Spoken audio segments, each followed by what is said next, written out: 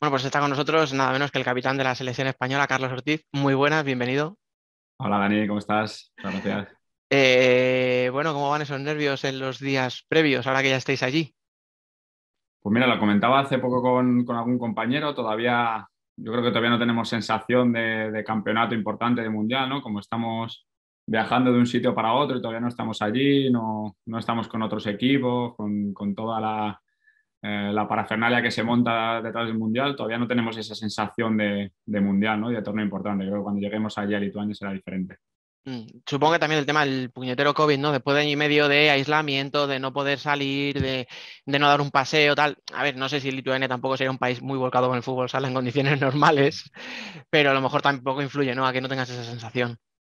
Sí, es verdad. Hemos estado prácticamente toda la concentración aislados, sin poder ver a nuestra gente, prácticamente sin salir de, los hoteles y bueno, como tú dices, hace un poquito más pesado, un poquito más duro, pero, lo teníamos asumido desde el principio que iba a ser así, que iba a ser largo y que teníamos que venir muy, muy centrados en, todo el trabajo que vamos a tener que hacer. Y ahora ya que hablas del trabajo, pues vamos a, vamos a hablar de esa preparación. ¿Qué tal va? ¿Cómo va ese mes ya largo que lleváis preparando el torneo?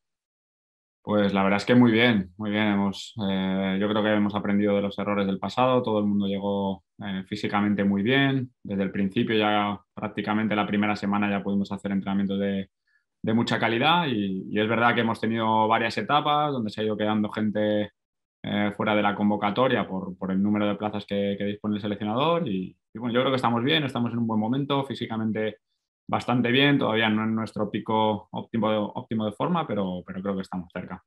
Voy a hacer un pequeño salto porque ahora me has dicho una cosa que me ha, que me ha llamado la atención, ¿no? Es el no saber qué grupo era el definitivo. No sé si cambia mucho, si el estar de buen rollo con alguien que estás pensando, joder, es que este tío a lo mejor dentro de una semana le dicen gracias, pero vete a casa. No sé si influye, porque no es normal tampoco, ¿no? Hacer una preparación con tantos jugadores. Sí, claro que influye, ha sido diferente a otras veces. Em, yo creo que por una parte ha estado muy bien, porque todo el mundo tenía que ganarse el puesto, todo el mundo tenía que, llegar bien físicamente, como te he dicho antes. Mm. Eh, nos hemos exigido mucho los entrenamientos, ha habido competencia sana entre nosotros. Por otro lado, pues también existía esa incertidumbre de saber si vas, si no vas, si, el seleccionador va a contar contigo o no. Yo creo que a lo mejor algunos jugadores no han estado eh, del todo cómodos ¿no? con, esta situación, por, por esa incertidumbre de, de realmente si estás en la lista definitiva o no. Pero bueno, yo creo que en, el fondo, si ponemos todas las cosas en la balanza, yo creo que ha sido positivo. Sí, no, claro, lo que tú dices. Al final, yo entiendo que un jugador como tú, pues evidentemente tienes más o menos segura la plaza, aunque digas, por precaución y porque tampoco es pecado de modestia, ¿no? Decir, oye, yo no sé si voy a estar, pero bueno, lo normal es que sí, que hay un núcleo de jugadores que contabais con el puesto, pero claro, gente como Raya, que ha llegado a lo mejor el último, ¿no? Y sin embargo se queda, o gente que llegó antes y, sale, es lo que tú dices, ¿no? O sea, entiendo que para ellos también tiene que ser un poco raro, ¿no? A lo mejor. Sí, es lo que te digo, ha habido, ha habido incertidumbre, yo creo que había un abanico de, no sé, no, no, no te sé decir números, siete, ocho, nueve jugadores que a lo mejor para ti o para mí eran fijos, pero ellos mismos pensaban que, estaban en duda, ¿no? Yo creo que eso entra dentro de, las posibilidades de la cabeza de cada uno y, creo que ha sido así, ¿no? Que ha habido un periodo de tiempo donde había muchos jugadores con la duda de si iban a ir o no iban a ir. Mm, en cuanto a la preparación, eh, no sé, ¿qué análisis o qué valoración hacéis de estos partidos amistosos? Porque empezasteis un poco ahí con Uzbekistán, con dos partidos con, con un 1-0, Luego la derrota contra, bueno, la derrota, el empate contra Argentina. Em, luego habéis dado un poquito mejor imagen. No sé si es lo que esperabais, ¿no? Esa línea ascendente, si estáis satisfechos, si, si sientes que ha faltado algo. Eh, bueno, ha habido cosas buenas y cosas malas, como en todas las preparaciones. Tenemos que, tenemos que tener claro que es una preparación, que es una pretemporada, que no podíamos llegar al primer partido estando ya a 100% todos los jugadores y más con lo que estamos hablando de que somos un grupo de, éramos un grupo de 19 donde había descartes cada partido, donde donde los entrenamientos a lo mejor eh, por tener tantos jugadores, pues eh, físicamente ibas evolucionando un poquito más lento, no eran tan exigentes y al final todo eso hay que tenerlo en cuenta. Pero nosotros estamos satisfechos con la preparación, hemos tenido buenos resultados, hemos dejado la portería cero en todos los partidos excepto en el de Argentina. Eh, en el de Argentina también hubo cosas buenas, yo creo que hubo fases del partido donde dominamos, otras donde ellos fueron mejores. sacas cosas positivas, por ejemplo, que conseguimos remontarle Argentina dos goles al final, que eso es, importante. Sacamos provecho de 5 para 4. Creo que de todo hay que sacar el lado positivo, el lado bueno. Nosotros estamos contentos, estamos eh, muy tranquilos, sabemos dónde queremos llegar, sabemos cómo queremos hacerlo. Mm. Y luego el tiempo, la suerte y el acierto nos dirá si, somos capaces de, de ganar este mundial o no. ¿Hay algo en concreto, si es que se puede decir, porque a lo mejor estamos dándole pistas a los rivales, que os preocupe un poco más? No sé, quizá pues un poco más de fluidez a lo mejor en ataque, en el juego posicional, eh, que en ciertos momentos parezca ¿no? que faltaba gol, cosa que a lo mejor en los últimos amistosos sí que habéis mejorado un poco. No sé, ¿hay algo en concreto que os preocupe un poco más? Que tú lo estás diciendo. Eh, no, hace, falta, no hace falta ser un lumbreras para ver lo que, de lo que estamos careciendo esta vez, ¿no? Estamos, eh, tenemos un poco de falta de gol, no tenemos los pegadores que teníamos antiguamente. Eh, nos está costando finalizar, sobre todo en estrategia. Creo que estamos haciendo buena estrategia, pero luego las finalizaciones no están siendo igual de buenas. Antes teníamos jugadores que, que sabías que tenían una efectividad muy alta en, este tipo de, de, jugadas y ahora pues no están aquí, por unas cosas o por otras no están pues bueno, nos está faltando eso, pero por contra, como te he dicho antes, hemos dejado la portería cero prácticamente todos los partidos, menos el día de Argentina. Entonces, pues tenemos cosas buenas y cosas malas. Y, luego tenemos jugadores con mucho gol, que yo estoy seguro que en cuanto empiecen a, a colarla van a venir uno, detrás de otro. Lo que te digo, el fútbol sala está como está. Mm. A lo mejor es menos atractivo que antes, seguramente, coincido con, con esta apreciación, pero está como está. Y ya estás viendo que todos los amistosos de todas las selecciones están siendo súper igualados. Sí, sí, de hecho ahora estamos grabando el martes. Eh, ayer jugó, por ejemplo, Brasil, que muchos dicen que va a arrasar y ganó por la mínima Serbia, que en principio no la pondríamos en el grupo de favoritas. O sea, que es lo que tú dices, la igualdad. No, lo pones en el grupo de favoritas para ganar el mundial, pero es una selección súper competitiva que te va a poner en aprietos, que, que, ya le ganó a Brasil antigua, hace, hace, bastante poco. un par de años o así, creo. Eh, es que todas las selecciones están así. Ves Uzbekistán, que a lo mejor la gente se piensa, joder, Uzbekistán, pues Uzbekistán es una selección eh, asiática que siempre está ahí peleando por, por, ganar el asiático. Entonces, es complicado, es que todas las selecciones son difíciles. O, ves Angola, nosotros Angola la conocemos mucho menos y ves sus partidos amistosos y dices, hostia, cuidado, eh, que estos también juegan. O ves a Paraguay y ves que son súper competitivos. Fútbol ahora está mucho más igualado que antes. Puede ser que, que las grandes potencias hayamos bajado, puede ser que que los que antes estaban un pasito por detrás pues han evolucionado, por lo que sea, está como está. Mm. Y luego lo que tú dices, al final parece que el fútbol se ha cambiado, etcétera, tal, pero si echamos la vista atrás, vale, que hace ya 20 años de esto, pero cuando España ganó sus mundiales, los gana basándose en defensa. O sea, eh, ganamos el primer mundial con 80 goles menos que Brasil, prácticamente. O sea, quiero decir, no éramos una selección de hacer 10 goles por partido. O sea, que al final. Estas han sido nuestras en identidad toda la vida. Claro. Y, y en esto yo siempre lo digo, cuando vienes a la selección tienes concentraciones muy cortas, tres, cuatro días. Ahora han cambiado un poco los, plazos y, tienes a lo mejor concentraciones de 10 días que te, permiten trabajar mucho más, pero lo que, más se lo que más tiempo se tarda en trabajar es el ataque. Entonces, cuando tú tienes una concentración de tres, cuatro días, eh, vas, a, vas, a, vas, a, trabajar lo que sabes que te va a dar rendimiento inmediato. ¿Y qué es eso? Estrategia, defensa y, y contraataque. Es donde viene la mayoría de los goles y lo que más rápido se trabaja pues vas a trabajar eso. Por eso España carece un poco del juego ofensivo, del, 4-0, del 3-1, del sistema posicional. Mm, bien, bueno, y además es que, por ejemplo, eh, podríamos decir, tenemos a Solano, ¿no? Que es pivot, pero no es un pivot, pues un tipo lo que había, por ejemplo, con Fernandao, pero dices, vale, pero ¿qué jugador hay como tipo Fernandao hoy día? Si es que eh, cada vez es lo que tú dices, cada vez es más contado ese tipo de jugador tan específico. Sí, también las normas, el tipo de juego, todo. Es que hoy en día los árbitros permiten muchísimo y metes un pivote arriba y, le sacan a empujones del campo, igual que hacemos nosotros, porque o te adaptas o, o, no vas a ganar, ¿no? Pero, pero está como está el fútbol sala y hay que intentar sacar el máximo provecho con las cosas que tiene. Mm, no, no vamos a desviar mucho del tema, pero por ejemplo lo que pasó en la última Final Eight de la Champions, ¿no? que se decía los portugueses, Sporting, por ejemplo, que tenía un juego muy agresivo, muy físico, decíamos, pero si es que el problema no lo tienen ellos, el problema es del resto que no se adaptan a ese estilo, ¿no? Lo que tú dices, a esa permisividad arbitral, que es para los dos lados. Exacto, es que el, fútbol sala está así, el arbitraje está como está, eh, las normas lo permiten, pues hay que, hay que jugar con las mismas normas que todos. Si son más competitivos que nosotros, pues tendremos que aumentar el nivel competitivo. Mm, bueno, me estoy yendo del tema, pero porque al final esto nos vamos a convertir sino en un debate así que, que se nos va del Mundial, que me interesa mucho, pero no es lo que toca ahora mismo. Ahora toca el Mundial, la fase de grupos. Tú lo has dicho, Angola, Paraguay, Japón. Con Japón habéis jugado recientemente, a Paraguay la conocemos de sobra. Angola eh, puede ser un equipo que sorprenda, porque bueno, al principio dices un equipo africano y tu primer pensamiento puede ser tíos muy grandes, fuertes, físicos, y estos no, estos son tíos pequeñitos que corren un montón, que, que no tienen nada que ver ¿no? con el estereotipo de, jugador africano en ese sentido, en el sentido caótico de uno para uno y tal, que no sé si a ti como cierre te puede volver loco, sí. Entonces, no sé, ¿qué análisis habéis hecho un poco de los rivales?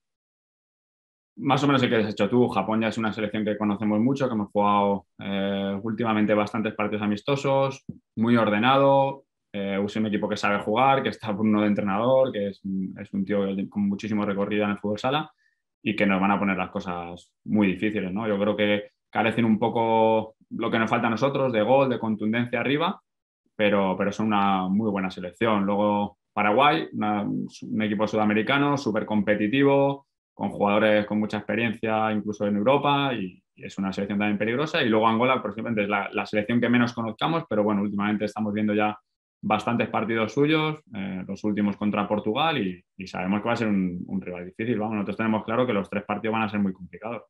Sí, sí, si miramos el resto de equipos es lo que tú dices. O sea, por ejemplo, Lituania, que podría parecer que es la que menos, bueno, no, no, lo parece, es la que tiene menos experiencia porque nunca ha disputado un gran torneo, pero por ejemplo también acaba de ganar un partido. O sea, quiere decir que, que es que no te puedes fiar ni de Angola, ¿verdad? Aunque parezca fácil, eh, ganarás lo mismo 2-0 y va a haber críticas. Ah, ¿cómo pueden ganar solo 2-0 Angola? Y dices, bueno. Pues, pues, yo te digo una cosa, firmo ganar los tres partidos 2-0, pasar como primeros de grupo y con, y con la sensación de que hemos dejado la portería a cero todos los partidos. Y 1-0 no porque hay mucho sufrimiento, ¿no? no, no porque a lo mejor tenemos que sufrir demasiado, pero al final aquí lo importante es ganar y, y ya está. Que, que, se puede dar espectáculo, se puede jugar bien y la gente eh, estará mucho más contenta de vernos, pues ojalá, ojalá, pero lo que queremos es ganar. Tú trate la copa que verás como nadie se acuerda de si fue bonito o feo, ¿no? Eso seguro, eso seguro. Oye, y hablando de, llevarse el trofeo, em, nosotros ya llevamos días aquí dándole vueltas en los grupos, en, las redes. Oye, pues, y esta no, va a ser el año de las sorpresas, que no, que va a ser, pues, Brasil no va a dejar ni la miga porque está como loca, eh, que no, que ya le toca a España la tercera, tal. ¿Vosotros también le dais vueltas, charláis ahí mientras tomáis el café, tal, o, preferís no pensar en, eso? Hombre, claro que hablamos, ¿no? Nosotros hablamos de, cómo son los grupos, de quién se enfrenta con quién, de cómo van a ser los posibles cruces de si habrá sorpresas y, a lo mejor lo que tú te piensas que van a ir por un lado van a ir por el otro. Bueno, claro que se habla, ¿no? Pero bueno, al final nosotros estamos en el trabajo, en el día a día, en currar, en mejorar y, pensando ya en, la semana que viene, que, tenemos el, el, comienzo del Mundial y que va a ser complicado la fase de grupos. Mm, sí, al final la fase de grupos es la más fácil, entre comillas, de preparar porque ya sabéis los rivales desde hace tiempo. Pero es lo que tú dices, o sea, hablábamos, por ejemplo, de Serbia. Serbia le saca un empate a Argentina, le, quita, o sea, le fastidia el primer puesto y de repente lo que tú dices, donde te pensabas que Argentina iba por un lado, te la encuentras en cuartos o en octavos. Y uno de los dos... Que, seguro que va a ser así. O sea, lo que nosotros pensamos que puede ser la lógica. Eh, tú sabes que en el deporte, en fútbol sala, de lógica poco, ¿no? Y, seguro que, hay alguna sorpresa que nosotros pensamos que no puede pasar y cambian totalmente los cruces. Mm, oye, hablemos un poco de ti, porque claro, yo no sé si te gustan las etiquetas, pero cuando te presentamos, nadie te dice, no, Carlos Ortiz. Dice, no, no, dice el capitán de la selección española, el tío de los 200 partidos, el, espejo para los chavales. Eh, joder, ¿cómo se lleva todo eso? Bueno, pues con, tranquilidad, ¿no? Tampoco hay que darle mucha importancia. Yo estoy aquí, soy uno más del grupo. Es verdad que soy el capitán por, por veteranía y porque, como tú dices, llevo muchos, muchos años y muchos partidos aquí, pero nada, con normalidad. Uno más del grupo y ya está. Ahora cuando, por ejemplo, llega un chico que, debuta ¿no? en un gran torneo como Mellado, digo uno más o menos que podría ser medio cierre o a la cierre, ¿no? Y, tú le dices, cuando, te intenta hacer alguna jugada, un regatito, me puedes decir, pero chaval, que te quedan 190 partidos para cogerme, ¿dónde vas? No te creas que, me, que las hacen y que da gusto, ¿eh? porque vienen los chavales apretando, pues mira, Raya, que, que, nadie esperaba que iba a estar aquí y ha hecho un temporadón con Inter y, la verdad es que se ha ganado a pulso el, poder estar aquí con nosotros porque, porque de verdad que la preparación ha sido muy buena, es, lo está haciendo genial y, y yo te digo que va a ser una gran sorpresa en el Mundial. Sí, de hecho te he dicho uno que más o menos juega en tu puesto porque es el primero que me viene a la cabeza, pero es que claro, tenemos a uno que se ha, que se ha criado, digamos, a tus pechos, o sea. No, lo está haciendo genial, la verdad. Yo estoy muy contento de que esté aquí porque le he visto crecer, le he visto evolucionar y, y ahora mismo es un jugador totalmente contrastado ya. Yo me acuerdo que le entrevisté hace unos mesecines y yo le preguntaba, oye, ¿tú te imaginabas dónde ibas a llegar? Porque al final, eh, ser canterano de Inter y llegar al primer equipo es muy difícil. Pues no digamos ya sentarse, ser titular y, ya, imagínate llegar a la selección. Y él me decía, sí, sí, yo estoy muy convencido, tal. Y yo decía, pero tú sabes que hay muchos chicos que dirán lo mismo, que ellos están convencidos de que van a triunfar y no se consigue. ¿Qué es lo que hace falta? Tú que ya estás mm, en la élite, o sea, llevas 20 años en la élite, ¿qué es lo que hace falta? ¿Es algo de suerte? ¿Es un poco de todo? No sé, ¿qué puede ser la clave para llegar ahí y quedarse? Lo primero es tener la, cabeza amueblada y Raya la tiene. Un chaval súper honesto, trabajador, que sabe perfectamente dónde acierta y dónde falla y eso es la principal cualidad que tienes que tener para llegar. Y luego, pues como tú dices, trabajar día a día, eh, disfrutar de esto, porque si no tienes pasión no vas a llegar a nada. Y que en ese momento que, necesitas tener esa pizca de suerte, lo tengas. El, día que te llega la oportunidad, pues estar ahí, demostrar que vales, eh, tener personalidad y, seguir para adelante. Y poco a poco, pues, pues las cosas salen. Mm. me, gustaría irme un poco más a, a, la tía con unas cuestiones más, pues la liga, los fichajes de este año, tal. No quiero irme mucho, pero sí que quiero enlazarlo, porque cuando el año pasado vas a Access, ¿no? Ya, pues había gente que pensábamos, bueno, mira, se va a un equipo ya, a una liga más tranquila, no, no un retiro dorado, ¿no? Porque eso ya sería irse a Estados Unidos, a Qatar, estas cosas, pero, pero sí, ¿no? Como a una liga un poco más tranquila, tal, y de repente ahora vuelves a Barça. Entonces, ¿Cuál es la motivación para que tú digas, coño, con lo tranquilo que estaba yo aquí, sin la presión, sin los focos y tal, ahora meterme otra vez en primera línea de fuego? Bueno, pues es que al final una oferta como la del Barça es, difícil rechazarla, ¿no? Yo, yo no me voy a Access a, venga, voy a Access y juego en la liga francesa y ya me retiro, eh, cobro mucho dinero como todo el mundo piensa y, y ya está, y se acabó, ¿no? Yo me voy a Access porque creo que es un proyecto interesante, porque económicamente me compensa y, porque creo que tenemos un equipo para pelear por muchas cosas, ¿no? Más allá de la liga francesa, que, estaba claro que íbamos a pelear por ella, yo pensaba que teníamos una plantilla para pelear incluso entre, entre los ocho o cuatro mejores de Europa, ¿no? Y, por eso también me voy a Francia. Eh, una vez allí, pues las cosas salen como son, el proyecto pues ya más o menos va por donde todo el mundo esperaba y, y bueno, pues empiezo a buscar posibilidades, me sale otra oferta muy buena por Europa en Bélgica, que lo tengo prácticamente cerrado pero en todo este proceso, pues yo había tenido ya varias conversaciones con, con Barça, con el anterior entrenador, con Andreu, y sobre todo cuando ya entra Jordi Torra, director deportivo, y Jesús Velasco como entrenador, ¿no? Y, y, a mí, o sea, yo lo tenía muy claro, si la oferta del Barça era, era decente y era buena, yo, a mí vivir esa experiencia en un club como Barcelona, volver a la Liga Española, otra vez eh, exigirme 100% cada partido, volver a competir y, volver a tener la posibilidad de ganar títulos, yo tenía muy claro que, es lo que quería. Que no se podía rechazar.